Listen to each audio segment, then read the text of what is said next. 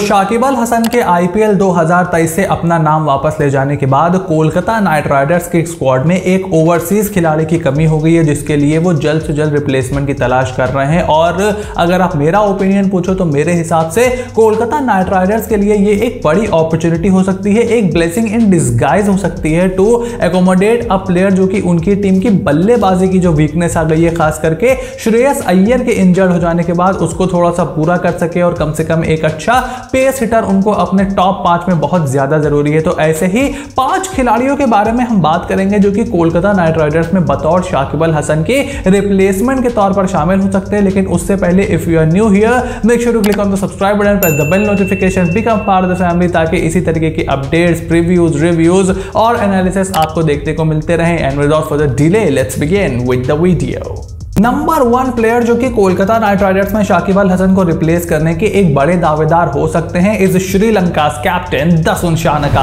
अब दसुन शानका को जब आईपीएल 2023 के मिनी ऑक्शन में किसी भी फ्रेंचाइजी ने अपनी टीम में शामिल नहीं किया था, तब सारे फैंस काफ़ी ज़्यादा क्रिकेट फैंस हैरान हुए थे बिकॉज़ जिस तरीके की फॉर्म दसुन शानका ने पिछले कुछ समय में दिखाई है लीडरशिप एबिलिटी वो लेकर के आते हैं। एक फास्ट बॉलिंग ऑलराउंडर है और अंडर प्रेशर बल्लेबाजी करने की काबिलियत भी उस खिलाड़ी खिलाड़ी के अंदर ज़्यादा है और तब से जब भी कोई प्लेयर इंजर्ड होता है तो दसुन शानका का नाम बतौर रिप्लेसमेंट के तौर पर ज़रूर आता है। And this might be the time कि दसुन शानका हमें के के आर की जर्सी में खेलते हुए दिखाई दे बिकॉज़ दसुन शानका आपको अंडर प्रेशर बल्लेबाजी करके दे सकते हैं और गेंदबाजी भी करके दे सकते हैं। साथ ही में श्रेयस अय्यर के जाने के बाद जो लीडरशिप का वैक्यूम थोड़ा सा खाली हुआ है, उसको भी दसुन शानका पूरे कर सकते हैं। हालाँकि आंद्रे रसल के बैकअप के तौर पर already David Wiese Kolkata Knight Riders के पास हैं। और अगर आप मेरा ओपिनियन पूछो तो इस टीम में, इस केकेआर के आर के सेटअप में बहुत ज़्यादा दसुन शानका जैसे खिलाड़ी की दरकार नहीं है but you never know Dasun Shanaka की form might just get him in the Kolkata Knight Riders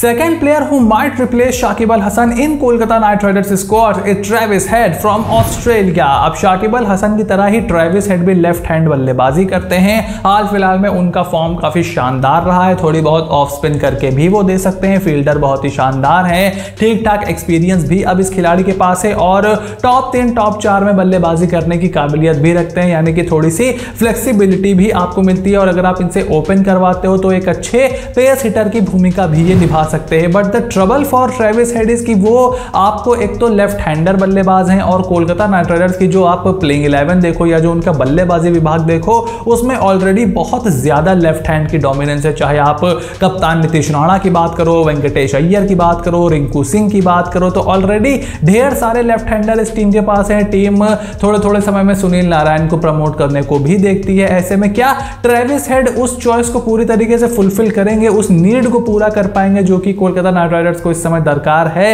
ये देखना के के के कैंप को ज़रूर होगा, लेकिन अगर आप शेयर फॉर्म और पोटेंशियल पे जाते हो तो इस समय Travis Head might not be a bad option for Kolkata Knight Riders. Third player who can replace Shakib Al Hasan in Kolkata Knight Riders squad is Jason Roy from England. अब Jason Roy ने IPL 2022 से अपना नाम वापस लिया था और उसके बाद उनकी किस्मत बहुत ज़्यादा अच्छी नहीं चल रही है। वर्ल्ड टी की स्क्वाड में भी उनको जगह नहीं मिली थी और उसके बाद आईपीएल 2023 के मिनी ऑप्शन में भी वो अनसोल्ड रह गए थे। बट उसके बाद उन्होंने थोड़ा बहुत अच्छा फॉर्म दिखाया है। पीएसएल में एक आध सेंचुरी भी इस खिलाड़ी ने मारी थी तो थोड़ा बहुत फॉर्म में ज़रूर लौटे हैं और एक्सपीरियंस इस खिलाड़ी खिलाड़ी के पास बहुत ज़्यादा है। और अगर आपको एक्सपीरियंस मिलता है टॉप पाँच में कोलकाता नाइट राइडर्स के पास कोई भी अच्छा पेस हिटर नहीं है। वो मनदीप सिंह और रहमानुल्लाह गुरबाज पर बैक ऑफ़ लेंथ पेस खेलने के लिए डिपेंड कर रहे हैं। और गुरबाज जहाँ अपना पहला सीज़न खेल रहे हैं, वहीं मनदीप सिंह का बीओएल के सामने इतना अच्छा रिकॉर्ड नहीं है और स्विंग के सामने भी उनको दिक्कत आती है। तो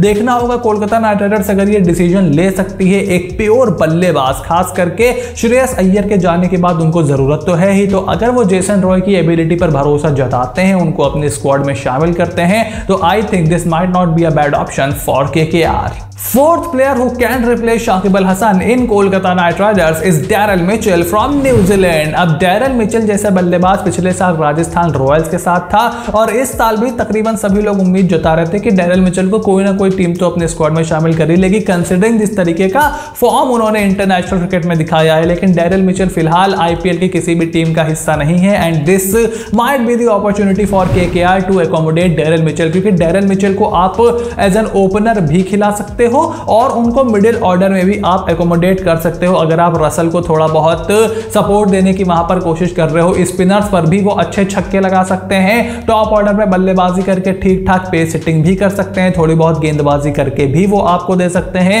इज़ अ पावरफुल डूड और मेरे ख्याल से अगर आप उनको खरीदते हो तो आपको दो स्किल्स मिलती है which might just add benefit to Daryl Mitchell's case for K और अगर ऐसा होता है तो I don't think it will be a bad option last but not the least fifth player who can replace Shakib Al Hasan in Kolkata Knight Riders squad is Rassie van der Dussen from South Africa अब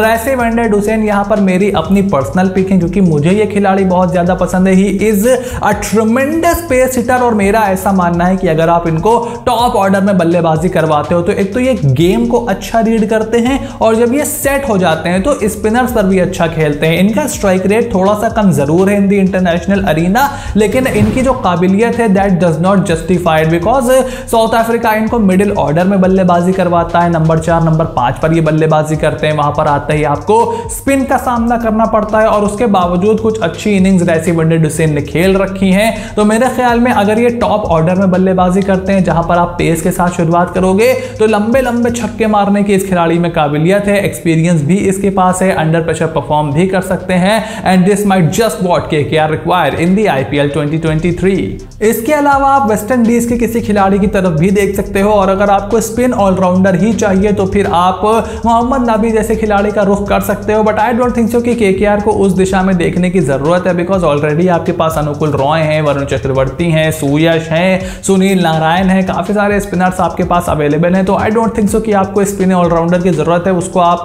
bench पर ही बैठा ले रखोगे। आपको ज़रूरत है एक अच्छे पेस हिटर की और लिटन दास जब तक ज्वाइन करेंगे, वो किस तरीके से आईपीएल में अकोमोडेट करेंगे क्या आप लिटन दास को उतना कॉन्फिडेंस है आपको कि आप लिटन दास को सीधे प्लेइंग इलेवन में डाल दोगे। ये देखना के का काम है, लेकिन अगर उनको ऐसा लगता है कि उनको एक पेस हिटर चाहिए, जो कि मेरे हिसाब से तो उनको चाहिए तो वो इन खिलाड़ियों की तरफ़ देख सकते हैं और अगर उनको ऑलराउंडर ही चाहिए then Dasun Shanaka might not be a bad choice for K लेकिन इस पूरी लिस्ट पर आपका क्या ओपिनियन है? Make sure to write in the comment section down below और आपके हिसाब से शाकिब अल हसन का रिप्लेसमेंट कौन होना चाहिए के के में, अपने ओपिनियन फटाफट से कमेंट बॉक्स में लिख करके ज़रूर बताइए। बट उससे पहले make sure click on the subscribe button press the bell notification become part of the family because the best analysis of IPL 2023 you know where to get. Only on 5 Sports. So stay tuned and I will see you soon in the next video.